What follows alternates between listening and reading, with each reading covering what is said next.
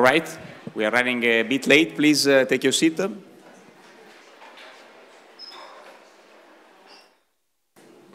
And uh, we can have uh, the last lecture by Ravi about large scale structure. Okay, guys, welcome back. Sorry for uh, breaking up the poster session. It seemed to be going very well, no? Yeah, the poster anyway will stay there uh, the whole day, so also the next coffee break. Okay, good, good. Um, okay, so I have a ton of things I need to get through this morning, and so let's see, let's see how far we get, okay? Uh, a quick recap. We had set up the, the way for estimating halo abundances using this sort of the excursion set approach, this random walk picture, right? And we had set up the, this idea that uh, uh, if you are in an overdense region, then you should end up with more massive halos than if you're in an underdense region, right? Because it will be harder to cross this critical threshold for collapse, yeah? Um, and I said one thing about this is that you can think of it as dense regions have an effective cosmology, a positively curved, a closed universe, and the others have an effectively open universe. Yeah? Um, and so ju just to, to make this a little bit more concrete, um, if I say, you know, the barrier that I had to cross was delta C, but now the barrier, because I'm in an overdense region, then if I'm in an overdense region, that corresponds to some initial linear density. Yeah, so the current nonlinear density corresponded to some initial linear density. That's the shape given by this dashed curve, right? So if I'm in a current overdensity, then that corresponds to this linear underdensity. Um, and this is where, you know, the, the, the having a, a, neat formula for the relation between the linear and the nonlinear density that isn't cosh and sinh and stuff like that but is just a, a, a, simple thing. This simple formula helps you see what's going to happen. Because if you rescale, so you take the delta C out common, then this guy is, is simply the mapping, right? So, so the 1 minus delta naught over delta C is like 1 plus delta to the minus 1 over delta C. So, so this is saying that I can think of my shifted barrier that I have to cross is like the original barrier times an effective growth factor that depends on the nonlinear density. Yeah? And you can see this effective growth factor, if the nonlinear density is big, this is coming with a minus sign, and so the effective growth factor is small, you don't have far to go yeah, to, to cross the barrier. And so that's why, um, so, so there was a talk yesterday, um, one of the last talks yesterday was talking about separate universe simulations. This is the motivation for that, yeah? So in the excursion set, that's built for free. Um, and they're, they're just doing that. They're saying, oh, you know, if I'm in an overdense region today, that corresponds to some effective cosmology, and they just simulate that separate cosmology. Then they count the halos in the, in the, in the new cosmology, and they compare it with the halos in the original cosmology, and that difference is telling you how, how different it was to cross this barrier, compare, you know, starting from here rather than from here. So that's bias. Yeah? And so just to make it a little more graphic, that's the first crossing distribution in dense regions and in underdense regions to show you you get more massive halos in dense regions than in underdense regions. Okay? This is a funny way of, of writing large mass and small mass. The funny way are the units I described, you know, instead of writing uh, in time and mass, you write in delta C with growth factor and sigma squared, which includes the power spectrum. Yeah? So this is high mass in dense regions, no high mass in underdense regions. Okay? Um, so, so that's, that's what we set up. But th this is, so, so, so that, that idea is the main idea for understanding almost everything about galaxy clustering. Okay? Because this is showing you that dense regions have more massive halos. And so we say the more massive halos uh, sitting in the denser regions, we're going to now say they're more biased. Okay, so the, the reason uh, galaxy properties will depend on environment is almost entirely due to this effect. Yeah, is that galaxies sit in halos, and the mix of halos is different in different environments. Okay? Um, so, so, so, so let's go a little further on this close connection between uh, um, effective cosmology and abundance. And so, you know, we can say, we can ask, you know, what's an object? And an object is, you know, a place where the density was above some critical number, on some larger scale was below the critical number, and there might be other constraints, all given the large scale environment, right? Now we can just expand this function in a Taylor series, and the first order here will be called the bias factor. Okay. Um, so, so there's the expansion, there'll be the first order term, and then there'll be higher order terms. Now you can think of this first order term as just simply taking the derivative of this guy, right? Um, because uh, the Taylor series of this is a little bit like taking derivatives of, so, so this guy is shifting the delta C that is sitting inside here. And so simply taking derivatives of this with respect to delta C gives you those bias factors, which means a model for the mass function has built in model for the bias. There's no extra assumptions. Yeah? Um, and, uh, and the, the way this matters for spatial clustering is, uh, so, you know, the, the more massive halos preferentially sit in the denser regions. So I made the point last time that this, this thing should be an increasing function of halo mass, so that in dense regions there are more massive halos, and in underdense regions this would be 1 minus something if this is a big positive number, and this is negative, 1 minus something, so there are no massive halos in underdense regions. All right, so, so there's our expansion. Number density of halos given the environment is the universal density plus a correction, which is bias. If I want to now do the clustering of halos and matter, then I would do, you know, I would do the ensemble average of halos and matter, but I would replace halos by bias times the matter.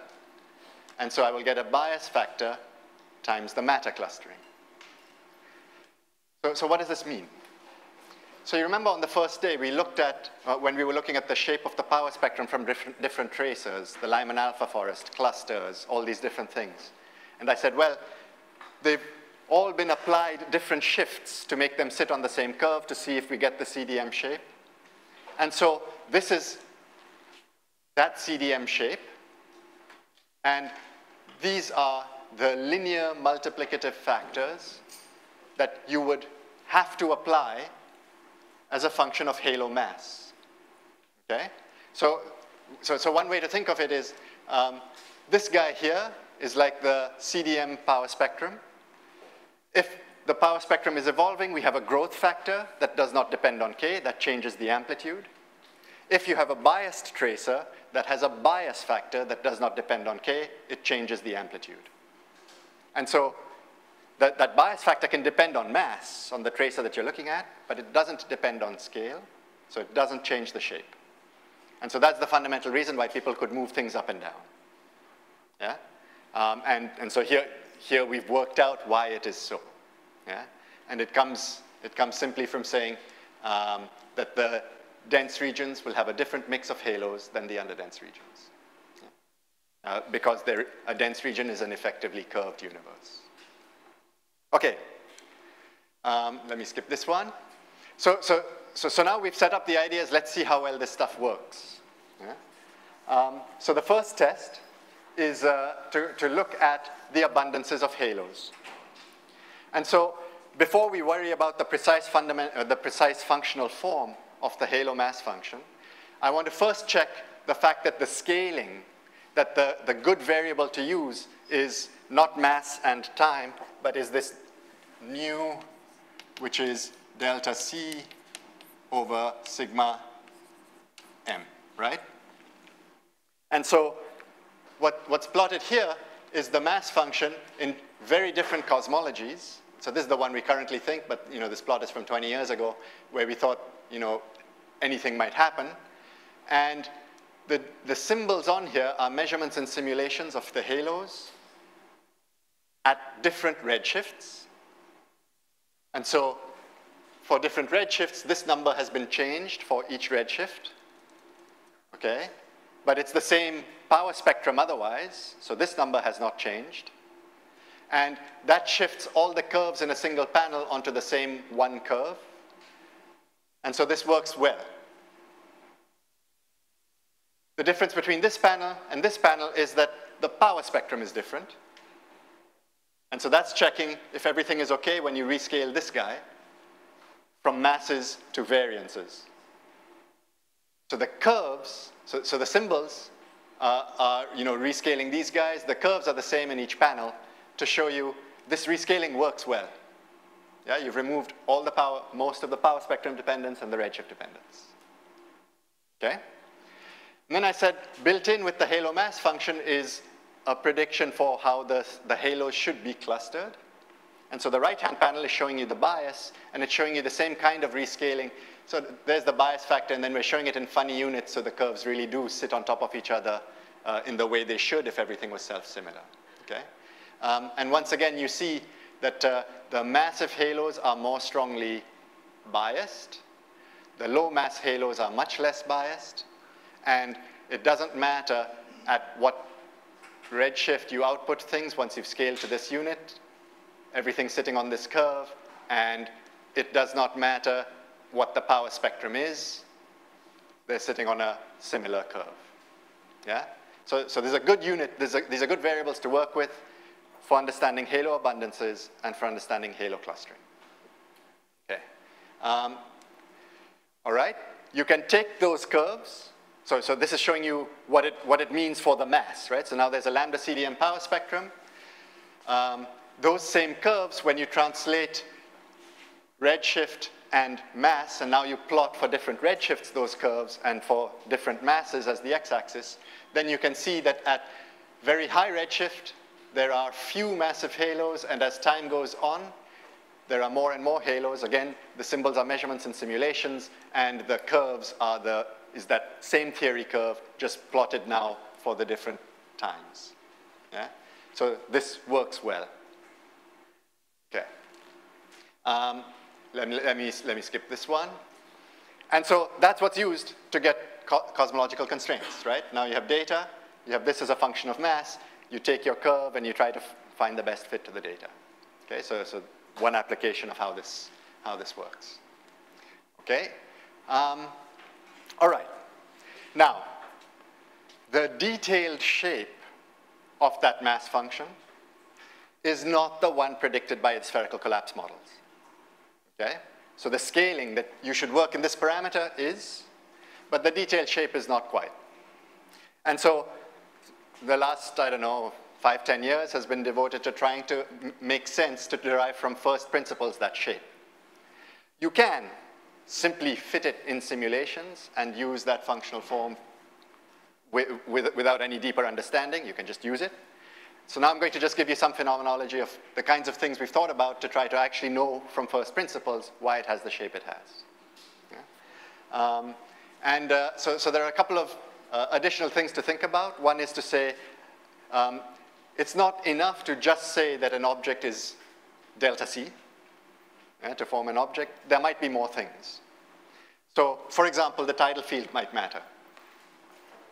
For example, um, if I am overdense, I want to be sure there's no one else next to me that's also overdense, because then I might fall onto them if they're bigger than me. And so I want to be kind of isolated, so I want to be a kind of local peak with nothing else around me. And so that means, in addition to saying, um, I was dense enough on this scale, but not dense enough on this smoothing scale, I want to be sure that something here, a spatial derivative, something just next to me is not mattering. So not, not just smoothing scale, but spatial derivatives might matter, okay? And so, so, so, so spatial derivatives and tidal fields might matter, okay? Um, so, so we know that the tidal fields matter, and, and I said before, you know, if, if we went through a model of triaxial collapse, then we would find that more or less the smaller patches need to be slightly more overdense to fight the tidal field. And so this is the explicit measurement in simulations. Um, as a function of halo mass, what's the required overdensity? Um, and uh, so the smaller mass halos tend to need a higher density. There's a large scatter, right? But they tend to need a higher density to collapse by the present time. Um, and the colors are showing you the objects with large tidal shear and with small tidal shear. So the tidal shear does matter. Yeah? That they all have the same overdensity. So if, the if there's no shear, then they have more or less the spherical collapse, delta C. But if there is shear, then they need to be much denser than spherical collapse says to pull themselves together. right? There's a, there is a model for, for, um, for the dependence on shear uh, that, that tries to, to predict this kind of thing. Um, but if you put together, so I don't have time to go into the details, but if you put together the peaks idea and the shear idea, then you get a pretty good description of the halo mass function at redshift 0 and redshift 1. It doesn't work all the way to redshift 6, so, so still working on that. But otherwise, the, the agreement with simulations now is good. And here, there are now no real free parameters. Yeah? So now, so that's, that's to say this functional form for the shape of the mass function is understood at the high mass end, at redshifts out to of order 2. Okay? Um, so it's not, it's not a fitting formula, it's an actual derivation from uh, physics of collapse. And that means that there are associated predictions for halo bias, how the bias of halos should depend on halo mass. Um, and these are measurements in simulations of the, so, so we can do the Taylor series expansion, expand to first order. That's the thing that we, we looked at before. But there's a second order term. This is the second order term and there's a third order, and so on. And these are all predicted once you have a model for the mass function. So this is to show you this works. Okay?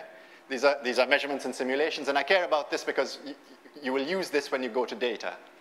Yeah? So the more massive halos are more strongly biased. There's a prediction for the shear, so the, the, the, the bias term that is associated with the shear, okay? Um, that works in the opposite sense. There, the agreement is not so good. The models of shear, they're pretty good, but they're not perfect yet. Yeah? Um, but again, this is to show you that there are these models because these terms are going to matter next week when you, when you, when you, you hear about the effective field theory of large-scale structure. And in the effective field theory, these are all free numbers. So this is to show you that they're actually better understood. Yeah? We have pretty good handle on some of these coefficients that are free in, in the effective field theory. Okay. Um, all right. So what happens with bias? Yeah, so what, what's happening with bias is that now the halo mass function depends on many properties of the Gaussian random field, not just the density, you know, having to be bigger than delta C. G means the multivariate Gaussian distribution of the density and the derivatives of the density to make a peak and the shear field, and there could be many things. And so if I make a Taylor series of this guy, then every single one of these guys will come with a coefficient, which is a bias factor. Yeah?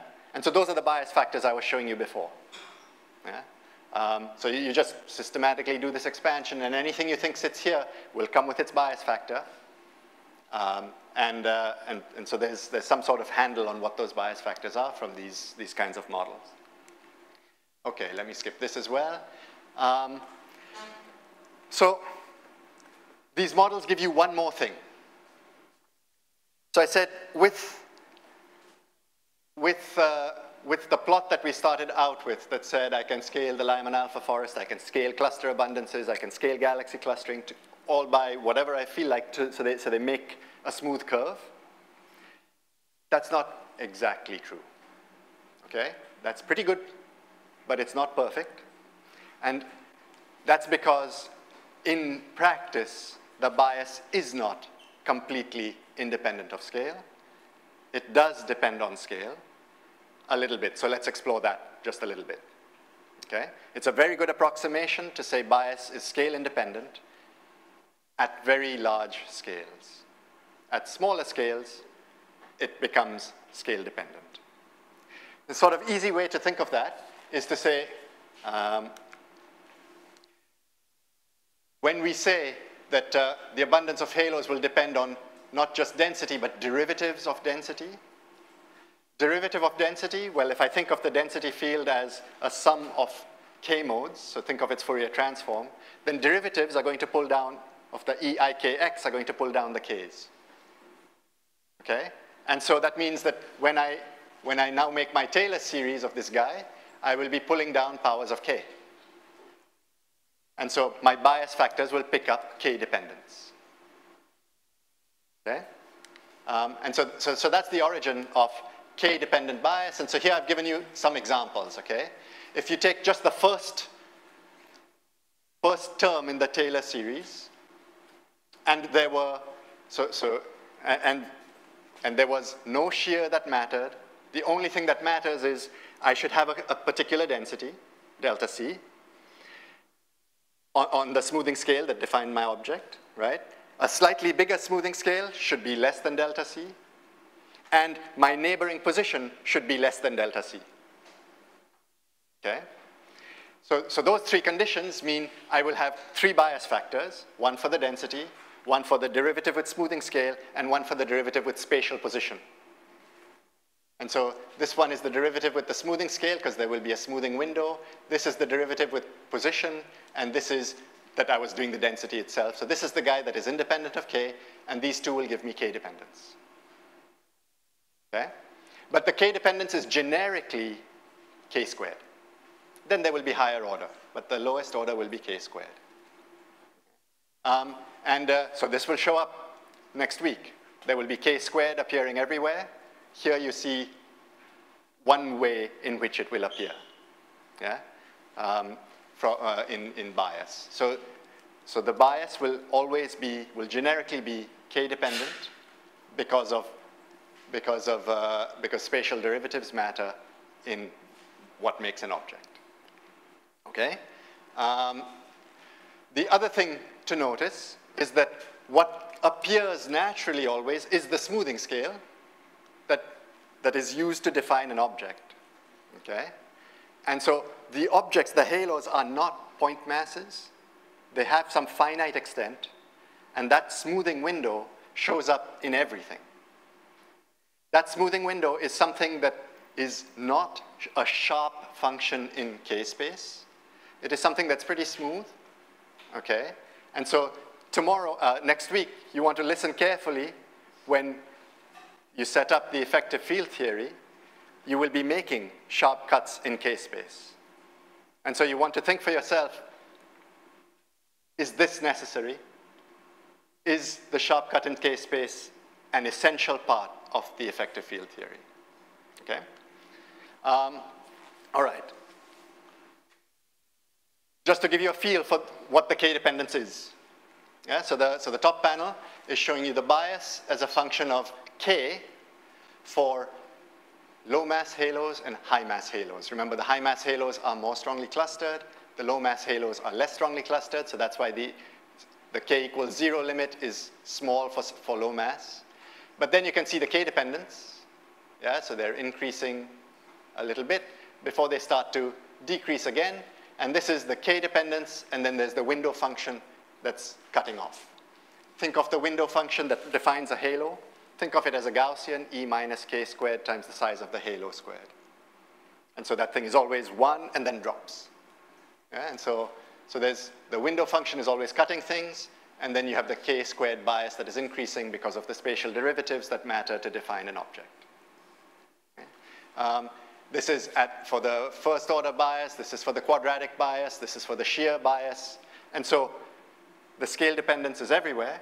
The scale dependence is everywhere beyond k of 0.1 or so. At smaller k, it's not an issue, or it's less of an issue. At bigger k, it's more of an issue, and we'll come back to this, okay?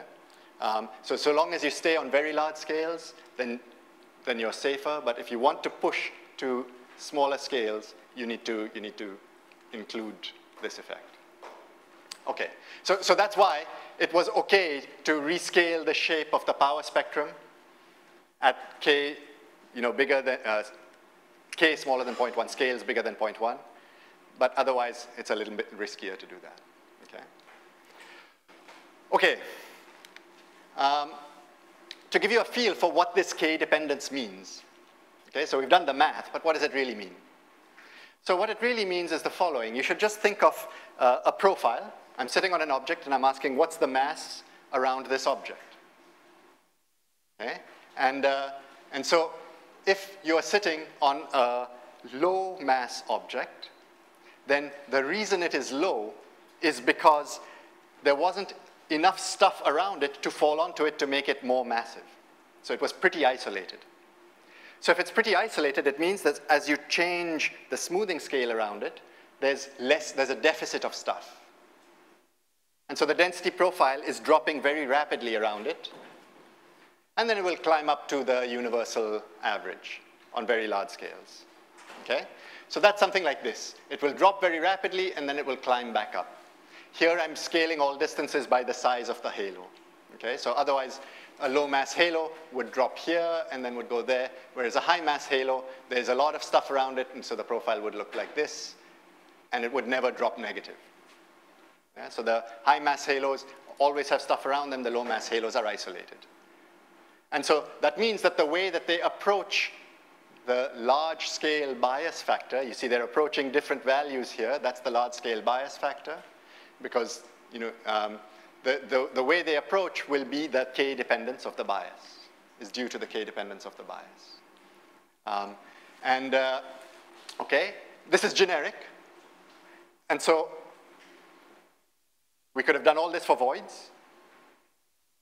Voids just have a different density threshold, and that just means you basically flip everything, okay? But with voids, you see something interesting, right? With voids, so these are, and this is a small void, right? Because small halo means not a very extreme fluctuation that made the halo, not a very extreme fluctuation that made the void, and that will have a wall around it. An extreme void, a very big void, will not have a wall around it. Okay? So that's like a generic prediction of this kind of model. And these are voids that are found in simulations. These are small voids, 8 megaparsec radius. These are big voids, 60 megaparsec radius. And you can see walls around the small voids, no walls around the big voids. Yeah? And so, so this formalism is letting you describe not just the halos, but also the voids, yeah? to get you, give you a qualitative feel for all these things. Okay. Um, so, so we're getting closer to a model that does a good job of describing the, the halo mass function, the halo bias, void abundances, void bias, profiles, all that stuff. Yeah? And hand in hand with that is this idea that uh, there will be k-dependent bias that will start as k squared. And hand in hand will be that the shear matters, and the shear will bring its own effects too. Okay? All right. Um, so, so, so we have uh, constraints from large-scale structure from, from this kind of thing. Okay? I want to shift gears a little bit. So far we've talked about density profiles. I want to talk a little bit about velocities because I want to set up when we do redshift space distortions. Um, so, so in this picture, how do we think of the, the motion of a particle? We think of the motion of a particle as all particles are in halos. So we first think of how they move inside the halo, and then we think of the motion of the halo. Okay? We, for everything, we'll be doing that. Uh, and so so the, so the velocity of a particle is the virial velocity around the center of its halo and then the motion of the halo it's in. Um, we've already said, you know, that the motion inside a halo is some random motion. The, hot, the more massive halos are hotter, so the particles are moving faster in the more massive halos. Um, what about the motions of the halos themselves? So the first order statement about the motions of the halos themselves is, well, if I was taking linear theory, and I was asking what is the typical speed of a dark matter particle, then I will get some speed from linear theory. If I want the speed of a big patch, because to make a halo I had to take a patch, the way we're in this halo approach, uh, you, you just take the center of mass motion of all those particles. And so you take the linear theory smoothed on the scale of the patch, and you ask what is the velocity when you smooth.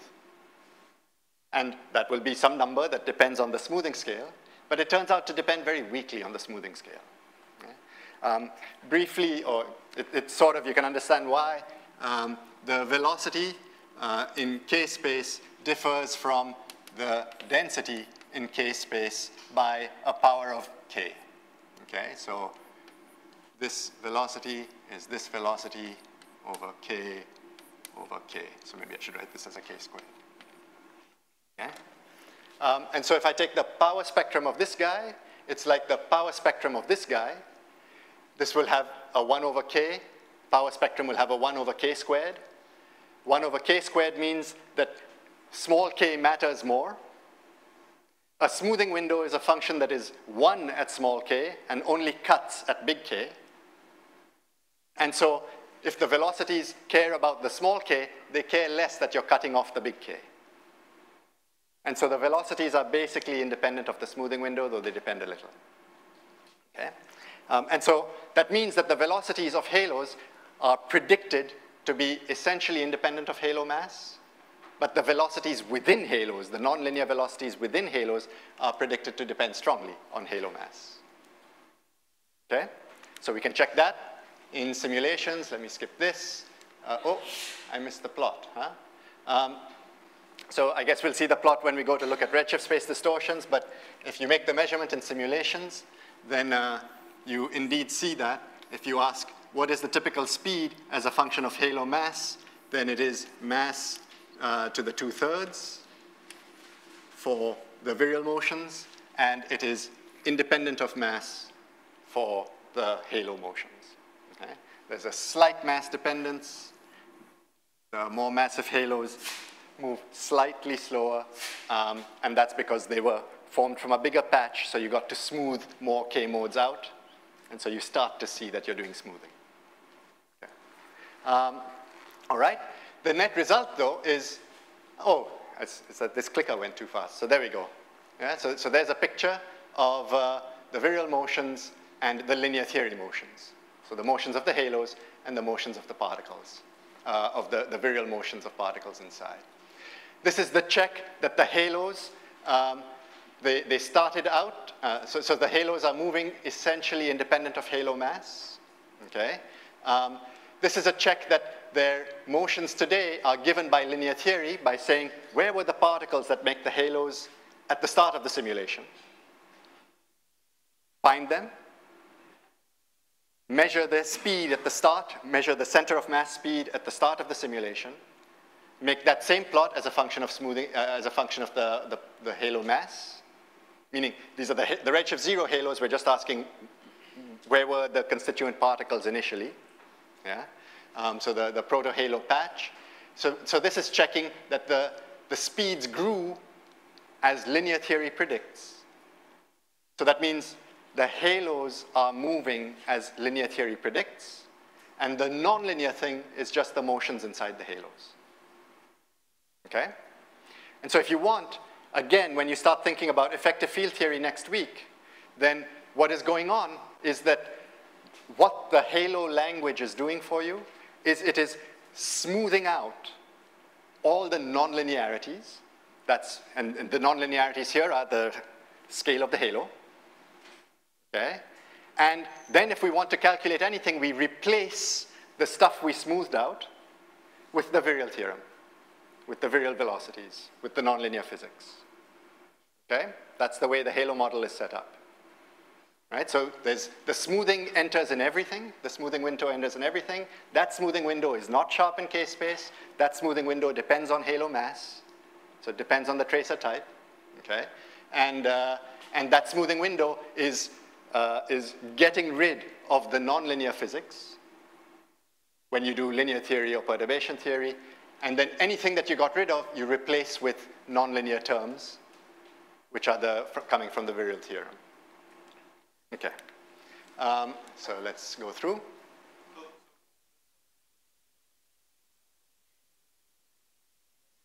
Okay, so, so we we are coming there. So, so I'll be doing the halo model in 20 minutes. Um, okay. So, so to try to make a little more connection to the kind of stuff that will happen next week, um, I want to give you a slightly different way of looking at structure formation. Okay? Um, and this one is saying what happens in a simulation. So you have a bunch of particles on a grid initially, because the fluctuations were 10 to the minus 5, so you put them on a grid, it's like fluctuations are zero. And then you have to move, you have to move them, and you decide how to move them based on the initial power spectrum. You can think of the initial power spectrum in uh, as defining for you the, so the initial power spectrum we say is something to do with the density, okay?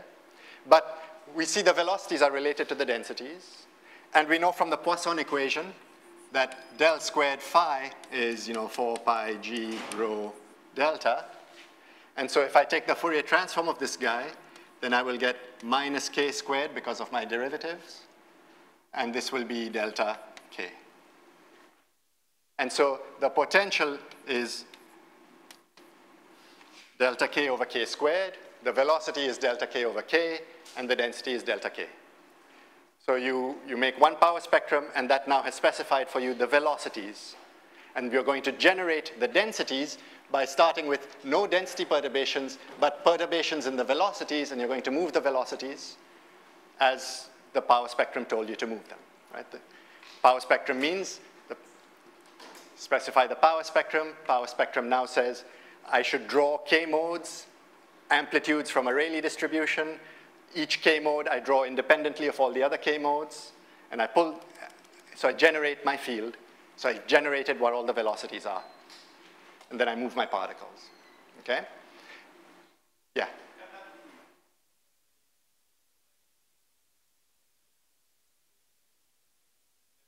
Yeah, there's, there's some papers about, um, uh, about exactly how you should think of a numerical simulation, uh, what gauge the velocities are in versus the densities, okay? Uh, but ask me later, I'm, I'm in a rush, okay?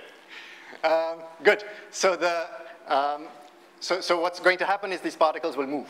And so those motions are going to generate the collapse and all of that, right? So the nonlinear stuff. Okay? So they're going to generate this stuff. They're going to generate those things. And so even if those velocities are just the linear theory velocities, I just keep them going. Distance is equal to speed times time, and the speed is the initial speed, okay? If, I, if they just kept going, then I would still generate completely nonlinear structures because particles would get very close to each other. I would then get the wrong answer because you know, they would get very close to each other and then they would pass each other if all I did was give them their initial speeds and say distance is speed times time. Okay?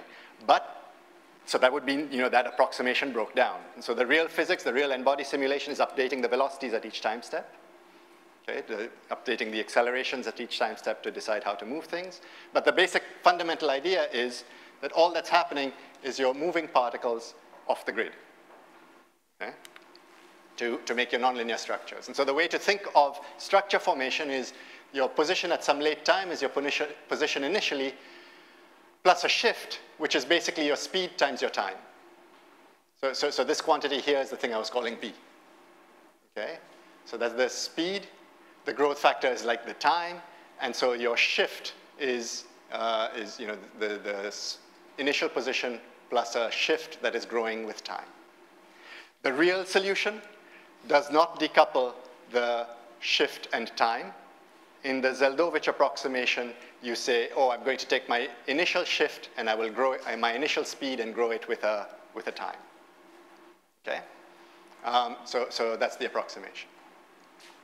Um, so what is this? So uh, a few of you have asked me questions about you know, filaments and stuff like that. And so here, you'll see the connection to the filaments, right?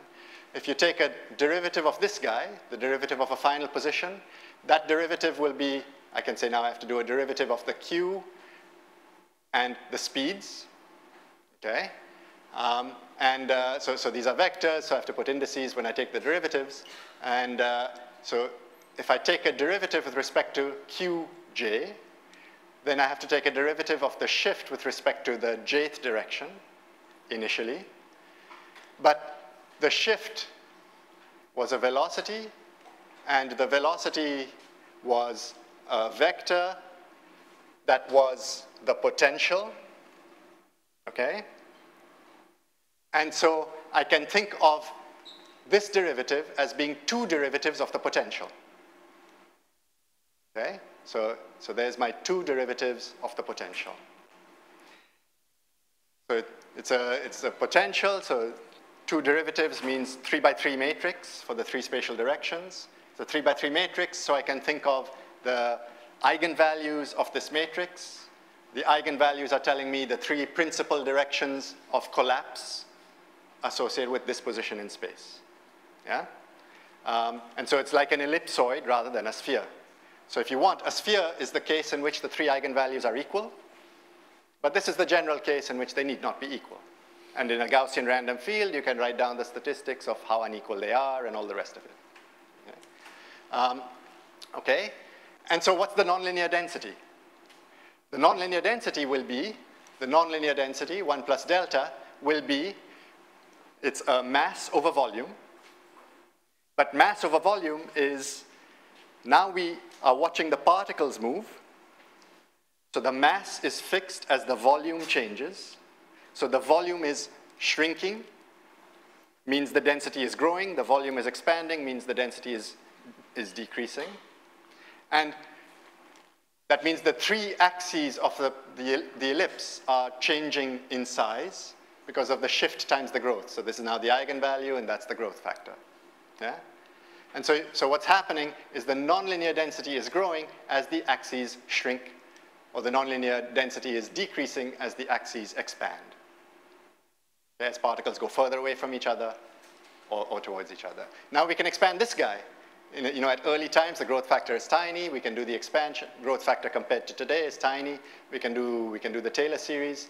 Um, and we'll get a term which is linear in the lambdas, then we'll get terms which are squared in the lambdas, and so on, in the eigenvalues and so on. The term that is linear, that's what we call the initial density. And the off-diagonal, you know, this kind of thing, that's what we call the shear. Okay?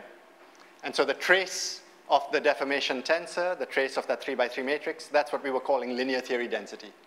And the thing that we call the shear um, is, is, this, is the next order term, and there will be higher order terms. Okay. Um, all right. So, so I promised on day two that I would show you something about what linear theory density being minus 2.7 for voids, why that's not a problem. And I said it had something to do with truncating and expansion. So here's the truncation. Yeah? So, so the, the correct expression is this. If I expand this, I will get 1 plus linear theory density plus corrections. And I know I should not be throwing these away if it looked like this was a very big, uh, very negative number. And it being a very negative number, so suppose this is a, suppose the sum of these, suppose each lambda is very negative. Very negative is saying this is very positive, but it's in the denominator, so that's what we mean by a void. But because it's in the denominator, this is getting to be a bigger and bigger positive number in the denominator, so the nonlinear density is very well behaved. It's going to zero. It's not going negative. Okay? All right, so the way to think of linear theory density is it's really something to do with the velocities. Okay. All right. Um, a Zeldovich sphere, just to give you the case in which all three eigenvalues are equal, then we would say, you know, I had 1 over 1 minus delta. Now I have to do the same for each of the three axes, so I get delta cubed. But the sum of the three eigenvalues, the trace, is the sum of the three. All three are equal. The sum of the three is what we call linear theory density. So if I have just one of them, it's the linear theory divided by three. But this is exactly the same form that I had for the true spherical collapse. The one in which we have correctly accounted for the fact that when the, when the sphere gets smaller, accelerations are greater, and so it will collapse faster. And so Zeldovich, the critical density for collapse is 3. The correct answer is 1.686. Okay? So this was another reason for writing spherical collapse in this kind of notation to, to, to give you the connection with Zeldovich. To give you, more importantly, the connection with Lagrangian perturbation theory, which will be one of the things you'll be doing next week. Okay. Um, all right. Um, so, so, so then you could, you could do this, right? You could, you could say, I know that what Zeldovich did wrong is it separated the time dependence from, uh, from the initial velocity because it doesn't update the velocities, right? It's your initial velocity times the time. Um, and, uh, and so the true thing, I should, I should keep it in, and I should do order by, uh, step by step, I should keep updating the velocities. And so that is Lagrangian perturbation theory, and then you just expand this term in a series, the first order, then you use the first order as the source for, to compute the second order, and so on. Okay, so there's a systematic expansion. Um, and effective field theory is saying, um, be careful because you may not, if, certainly if you truncate it, you're going to get the wrong answer, so you need to put in the fact that you've missed the right answer. But there's a deeper result, which is due to Bharadwaj in 1996. I have a reference later. that shows that um, perturbation theory, as it's usually written, will converge to the wrong answer, even if you summed all the terms in it. Okay? And so perturbation theory just doesn't converge to the right thing. So we've known this for 20 years. Okay? And so the motivation for the halo model is to put this in, is to say there's going to be whatever you compute from perturbation theory, however you compute it, you will have to correct it. It's going to, it's guaranteed to be wrong. And so you have to correct it, and the question now is how. Yeah? And so, so, so one thing I was motivating was you go through the, this business of halos, and if you go through this business of halos, then what happens? Then one way you think of it is to say, my positions have to shift from the Lagrangian positions because, you know, so there's a shift. How to think of the shift? So what I've done is I've added, uh, oh, this is falling off the screen. So the x minus x halo plus x halo is q minus q halo. So, so I'm thinking of my position. Here I've just added in minus one, th the same thing, okay? Because I'm going to add and subtract the same thing to do with the halo center of mass and the halo shift, right? Because in halo language, you always think of particles as where they are compared to the center of the halo, and then where is the halo okay? Um, and so, so this x minus q, which is the total shift, the x minus q I will write as and the, the x minus the, so the particle's position compared to the center of its halo, the particle's initial position compared to the center of the halo's initial position, the perturbation theory or whatever prediction for how the halo moved, Zeldovich approximation or next order or whatever, and then the fact that I might have screwed up, that not even this is going to be right. Okay? So it's a collection of many terms, but this collection of many terms is very useful because this is talking about the final, you know, how far the particle is from the, the final halo. So this is the halo profile of the final object. This is the profile in the initial conditions. This is the center of mass motion, which a very good approximation is Zeldovich. Zeldovich is a horrible approximation for individual particles' motions, but it's a very good approximation for the smoothed patches and how they move. Yeah? And so the whole point of talking about halos was to find those regions where you can use linear theory, where you can use Zeldovich or second order perturbation theory to move the patches. Because you know it's wrong for the particles, but it's okay for the patches. Okay? And once you've done that, you may have screwed up. So that's the real thing you don't know. Okay? Currently, effective field theory just says you add a term here, and you don't split it up in this. And so there's a large correction that you don't know, that is not under control. And I'm trying to argue here that a lot of it might actually be under control, not at 1% precision, but we have a good, good, good, good physical ideas of how it should work. Um, and so I want to, you to have this idea in the back of your head as you're looking through next week's lectures. Yeah? That you, you can think of, uh, of halos as helping the effective field theory in some sense. Okay.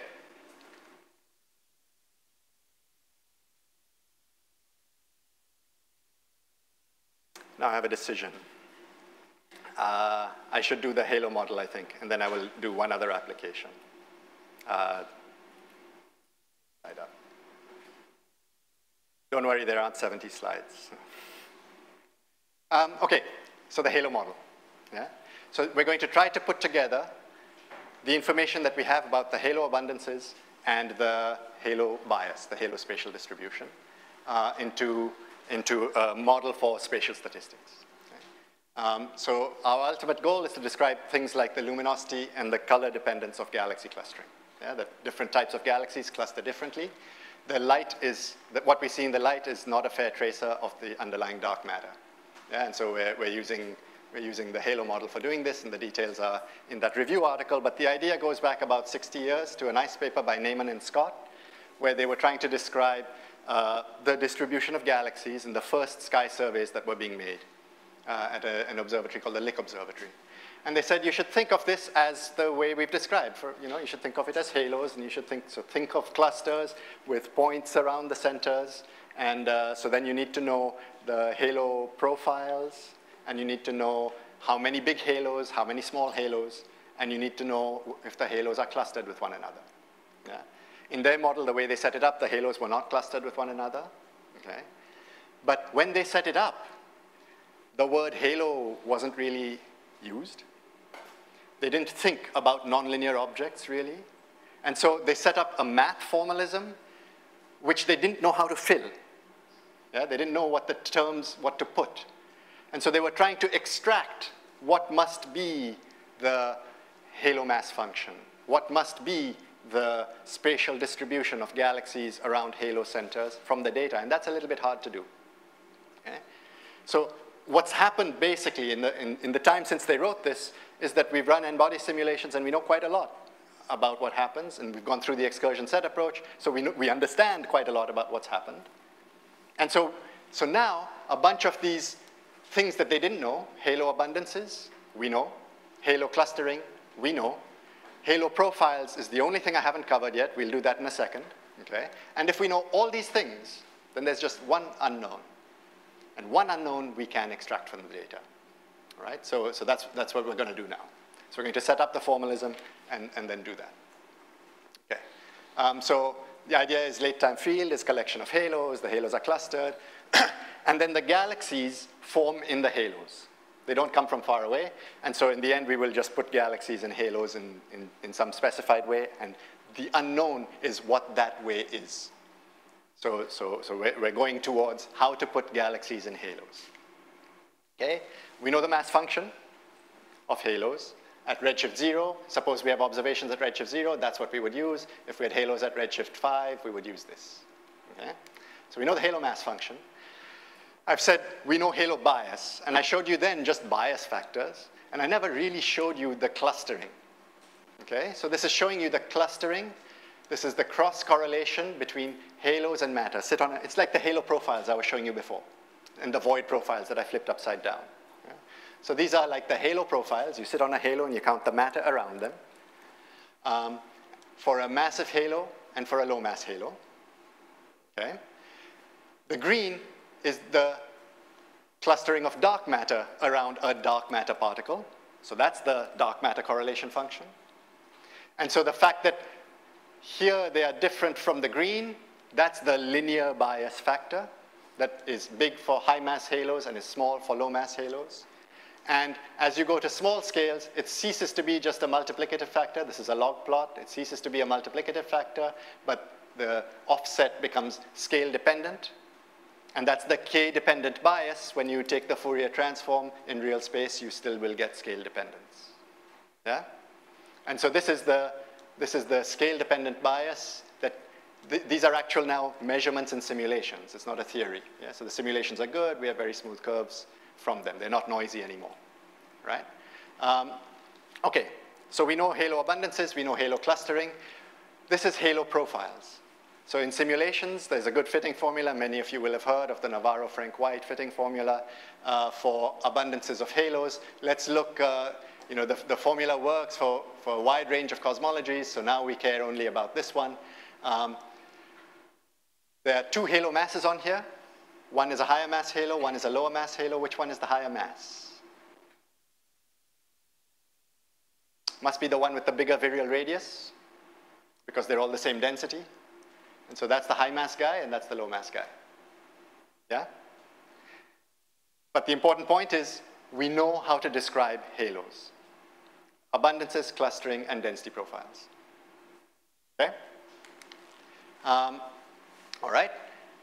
So uh, so I have a little bit about baryonic effects because people asked me early on about baryonic effects. I don't have time to discuss them now, so I will skip.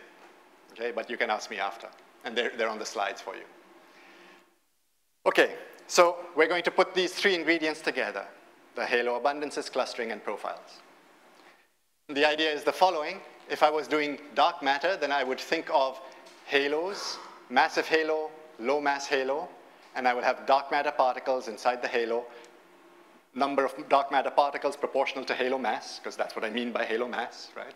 Um, and, uh, and so, uh, so if I want to calculate the two-point clustering of dark matter particles, then I need to take the, all the pairs, and the pairs at separation r, I can break up into two types of pairs. Either they are both in the same halo, or one is in one halo and the other is in another halo. So we call it the one halo and the two halo term. Okay?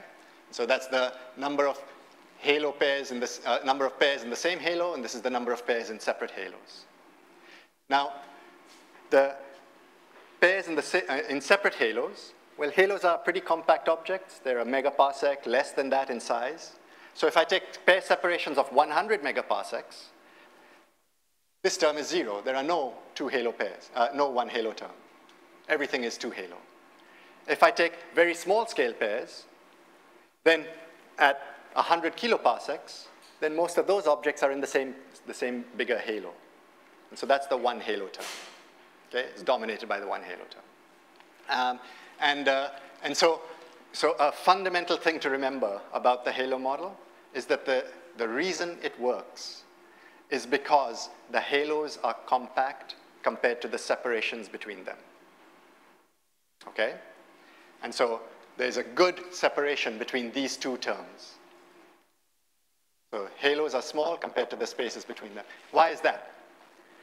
Because they are 200 times the background density, and so, the, so 1 over 200 is the volume they actually occupy, and so the spaces between them are, are big compared to their sizes. Okay?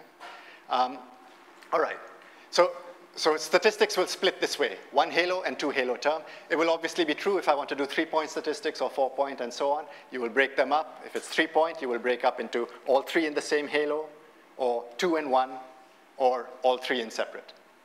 Yeah, so higher order statistics, more terms. Again, the one where everything is in the same halo will dominate on the smallest scales. The one where everything is in separate halos will dominate on the biggest scales. Okay? We'll only do two point, but it's set up to do, to do everything else. Um, and so the final step is to say, what is true of the statistics is true of the physics. So this will matter when we want to do redshift space distortions and we care about how particles move. Then we will say, well, we will get two contributions to the motion. We will get the halo motion, which we describe with linear theory, and we will get the virial motion, which we will describe with nonlinear theory. Okay? Uh, Okay.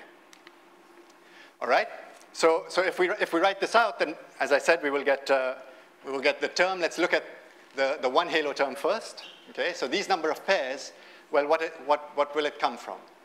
Well, I have to first, I have to sum over all the different masses that the halos can have. So I have to do an integral over the halo mass function. Each halo will give me a total number of pairs m squared, proportional to the to mass squared, right? But all those pairs will be at different distances, right? So some will be short, some will be long. There will be none longer than twice the virial radius because most they can be on opposite sides of the halo, okay? And so I have to do a sort of convolution over the halo profile to get the total distribution of pair separations in the halo. That's a painful thing to do. I mean, you can do it, but it's much clearer to think of it in Fourier space because if you're doing a convolution in real space, it's a multiplication in k-space. And so it's going to be easier to think about the power spectrum of this guy. The power spectrum of this guy, this will be the same, this will be the same, this will be the same, and I will replace this with the Fourier transform of the density profile, of the NFW density profile, and it's a convolution, so I will do squared. If I was doing three-point function, I would do the Fourier transform of NFW profile to the cubed, and so on. Okay? That's it. Um, the other term is, uh, um, is this term, okay? So, so you'll see here I had a 1, and I have here two 1 pluses, no? because here I'm talking about total number of pairs is total number of pairs plus total number of pairs. When I went to the next slide, I dropped this 1.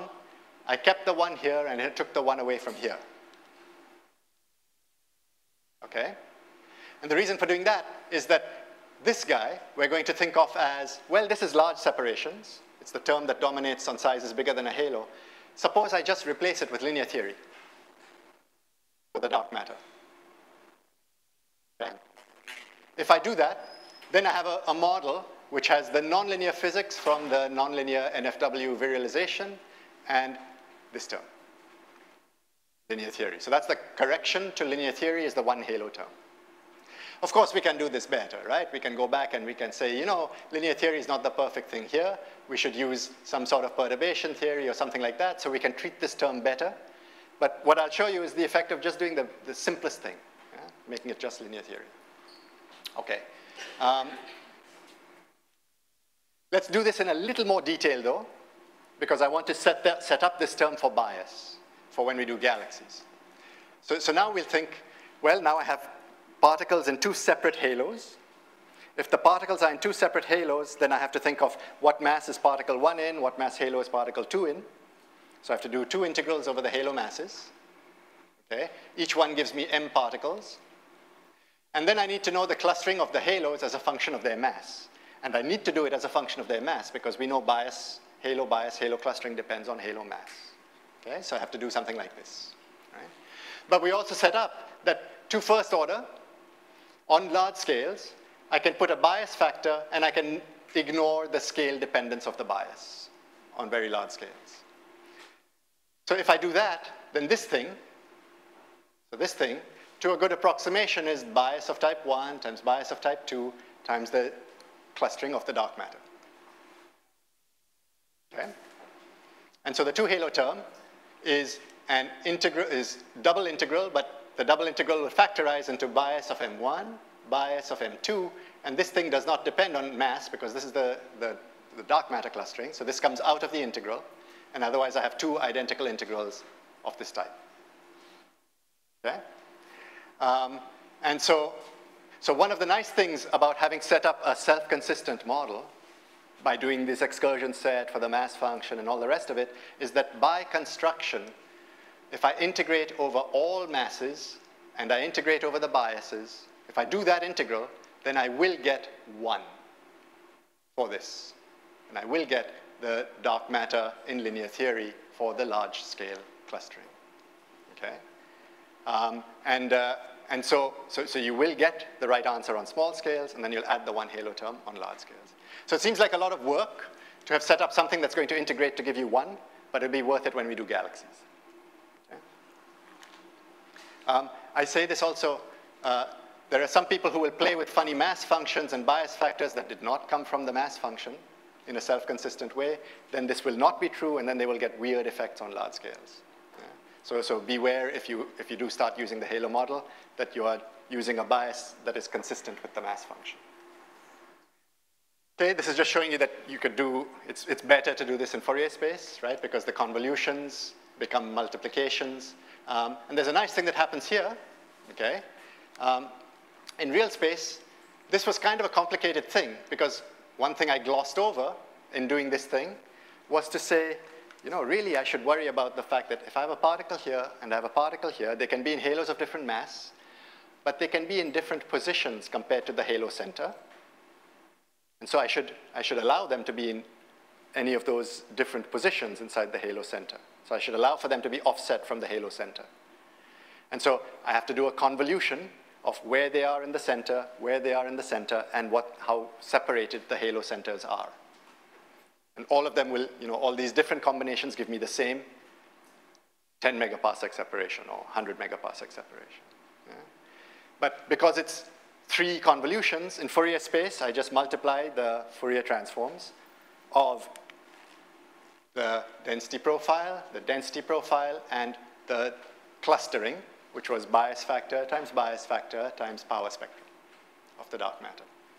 Yeah? And so, so it's the density profile, density profile, and in this approximation, we're just putting the dark matter from linear theory.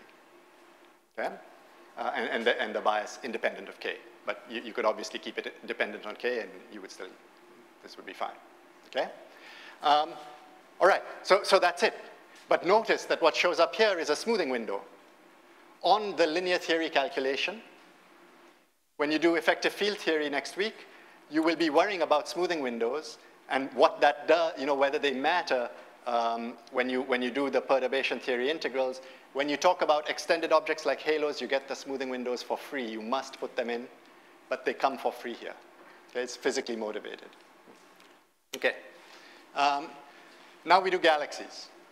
When we do galaxies, then I've made the same picture as before, but I put colors. galaxies of different type, red galaxies, blue, ga uh, yellow galaxies, whatever. Same thing as before.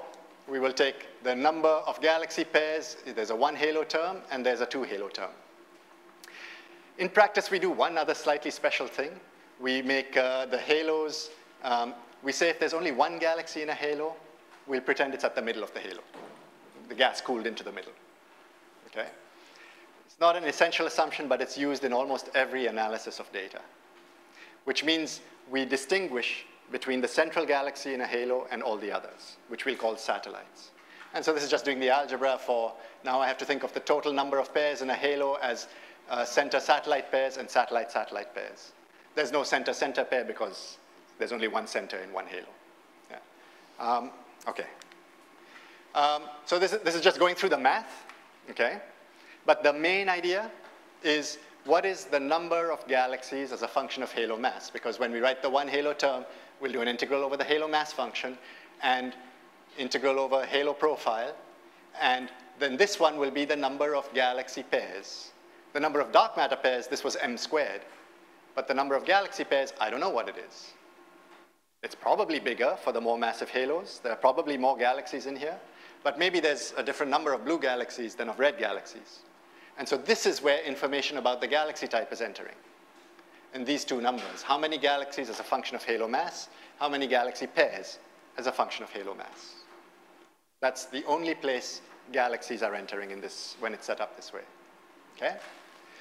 And so that means if this is proportional to m and this is proportional to m squared, then the galaxies will be unbiased compared to the dark matter. The statistics will be exactly the same. And it's because this is not m and this is not m squared that you have galaxy bias. And because this number is different for blue than from red, they're going, blue will be clustered differently from red. But it's the same formalism that gave you the dark matter that gives you the galaxy distribution. Okay? Um, and uh, so same thing, of course, here. This is the power spectrum. Uh, you just put the different weights, okay, for the number of pairs as a function of galaxy type, uh, for a galaxy type as a function of halo mass. So that's the weighting, okay? But this is the thing that in principle you don't know. So I'm going to start out by saying in a simulation, in a galaxy formation simulation, we can measure this thing. We'll measure it. We'll see if this formalism correctly describes the clustering of the galaxies in the simulation. If it does, we'll say, we have a good, we have a good formalism. Now we go to data, and we'll try to extract this one piece of missing information. So we'll try to extract this from the data. Okay? So, so here's the simulations, the correlation function of the red galaxies, of the blue galaxies, so the crosses and the circles, um, and the predictions from you know, just inserting that there are more red galaxies in massive halos than there are blue galaxies, and that there are more galaxies in massive halos than in low mass halos. Yeah? All right? And so the red galaxies, because they preferentially sit in the more massive halos, are more biased than the blue galaxies. Here we're taking the ratio of the clustering to show you the red are a little bit more biased than the blue. Okay? Um, but, but the model works not only on large scales, but works all the way down to smaller scales as well. Okay? And to show you that the same formalism describes the dark matter, the filled black circles are showing you the dark matter correlation function measured in the same simulations. So you can see the galaxies are biased compared to the dark matter in a scale-dependent way. And the, the little dots here, they are showing you the halo model description of the dark matter correlation function. It does a good job. So the formalism works pretty well, okay? I'm overstating things a little bit. The formalism works very well on large scales. The formalism works very well on small scales. The in-between regime where you transition from one to two halos, that's the one we're cheating with, right? That's the one we pretended is just linear theory for the two halos. The nonlinear is okay because we know the NFW profile is good. And so this transition won't be quite right. Okay? Um, but except for that, uh, the model is, is pretty good. Okay. Um, oh, galaxy lensing rather than galaxy clustering. So, so now we have a description of galaxy clustering. Now let's do the lensing signal. The lensing signal is just the cross correlation between halos and matter. Okay? So how do we do a cross correlation? So then we'd say um, one object, I sat on a, a, it's really a cross correlation between galaxies and matter. So one, one object, I sat on a galaxy, the other object is just the matter. And so in, in the one halo term, I have the contribution from the galaxies, and the other piece is the contribution from the matter. Remember when I was doing galaxy-galaxy, then I just take this guy squared, and if I'm doing matter-matter, I do this guy squared. If I'm doing galaxy-matter, I do one of one and one of the other. So it's pretty straightforward. Same thing down here. Yeah, so one of these will be weighting with the mass, the other will be weighting with the galaxy counts. Now you've modeled galaxies, the galaxy signal. The real, uh, sorry, the weak lensing signal. The weak lensing signal will end up being some integral over redshift. At each redshift, there will be a mass function. We know there will be the bias for that mass function. We know there will be the halo, profile. We know. And so you can do these integrals, right? So that's what's done to model the lensing signal. Um, so it's a, it's a pretty trivial change. So the final thing I need to describe is redshift space distortions. We started a little late. Can I keep going, Paolo? Yeah? Yeah? Okay. Um, so redshift space distortions. Um, so, so on the first day, uh, I put up this picture, right? And I said, well, there's uh, these fingers of God, and then there's this squashing, okay? And so there are two contributions. The virial motions inside a halo that are making things move around a lot, that are distorting what they seem, where they seem to be. And the other one is the linear theory motions due to the halos as a whole moving. Okay? And, uh, and so, so, what, so what are those two? So the random motions, if I'm an observer, so let's go back, let's go to this plot. Um, if, if this is a cluster, and the cluster is really round, and the galaxies are buzzing around inside it, if I'm the observer down here, then I will see an extended distribution along the line of sight because I'm adding the velocities to the Hubble flow when I measure a redshift. I'm adding bigger velocities to the more massive halos and smaller velocities if the galaxy sits in a low mass halo. Okay? So, so they will be stretched this way, but they will not be changed this way. Okay? Um, the linear theory is saying you don't have random motions at all. You actually have pretty ordered motions. And the pretty ordered motions are that your object is shrinking or your object is expanding. And so if your object is shrinking to make a cluster, then the, the thing that is on the far side, that is farther away from you seems to be rushing towards you.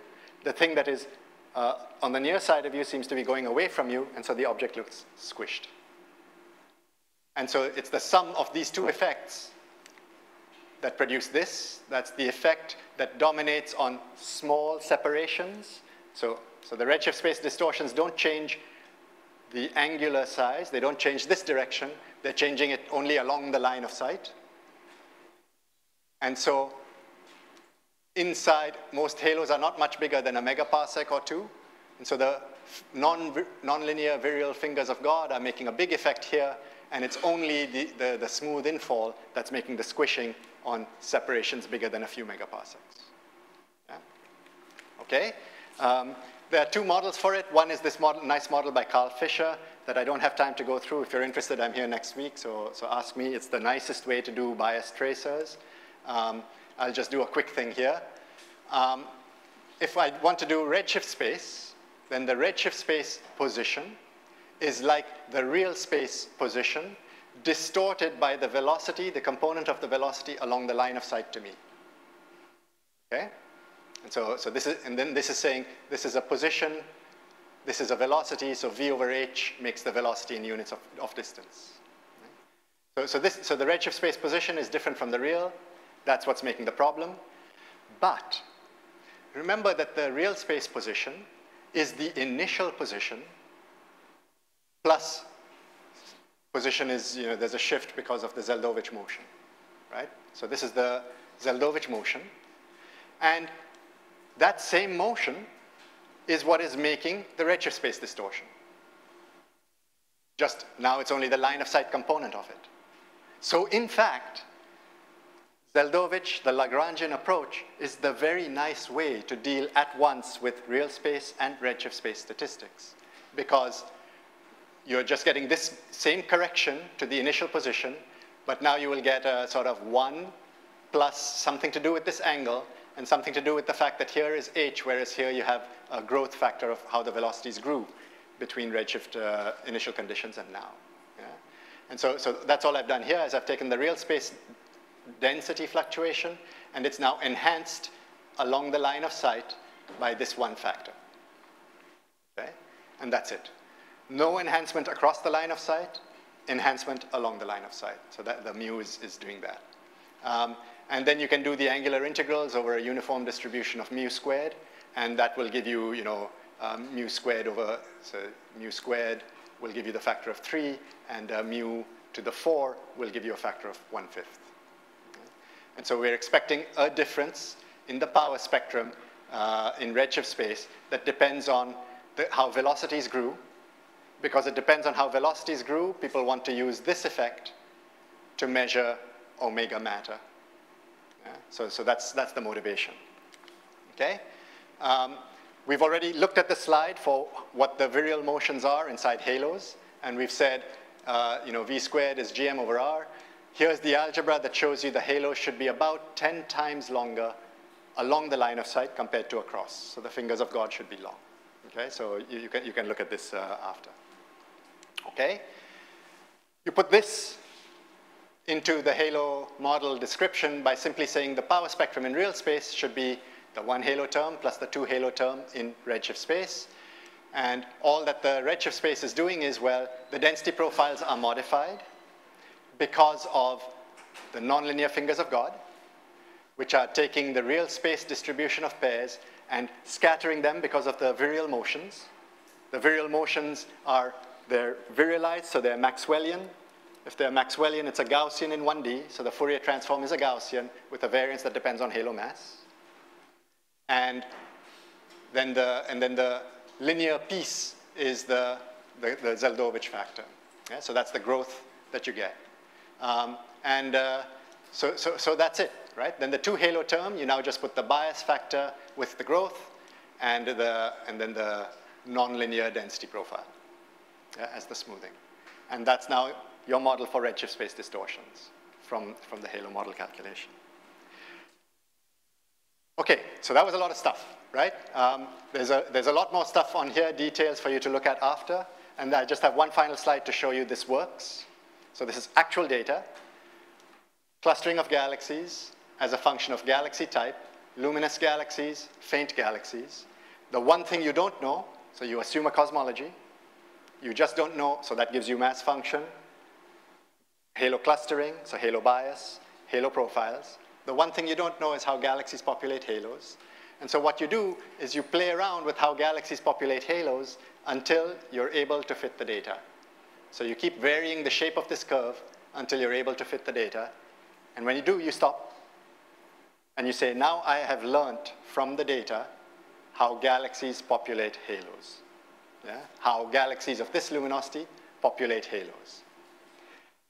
For galaxy formation, this is very useful because if we play this game for all galaxies that are very luminous, or all galaxies that are very faint as well as very luminous, so everything above some threshold, then what we're getting here is the number of galaxies in halos of mass 10 to the 14 that are very luminous or that are faint and luminous, or that are very faint and very luminous. So we're getting the cumulative luminosity function as a function of halo mass. So we're getting the distribution of luminosities in halos as a function of halo mass without ever having to go to the data and identify halos. Getting it just from the clustering yeah, of the galaxies. So it's very powerful. This is the information galaxy formation models use, need, predict. And so it's a way of getting from the data the input to guide galaxy formation studies. Okay? There are many other ways the Halo model is used, but I'm way out of time. I'm around for the next couple, next week, and so ask me. Yeah? I've put a few projects online that you can get from the website. I tried to give you a bunch of data sets Um, one was uh, to do with uh, the cluster mass function, the data I showed you, so that you can fit with it, try to transform to the self-similar variable to see that you can really scale the two different redshifts into, uh, into a universal curve. I've given you some galaxy clustering data that has the BAO signal in it. You can, try, you can play with that or talk with me in the, this next week to try to fit that data, try to extract the, the baryons acoustic oscillation scale, see where the current discrepancy in the value of H naught is coming from, okay? And so for that, I've also given you the supernova data so that you can see where the value of, uh, value of supernova cosmology is coming from. Um, is there any other data I have on there? Um, I think that's it. But so if you want to do those projects, there's a write-up describing the stuff. Uh, be in touch with me next week and uh, work through those projects. Yeah, thanks a lot.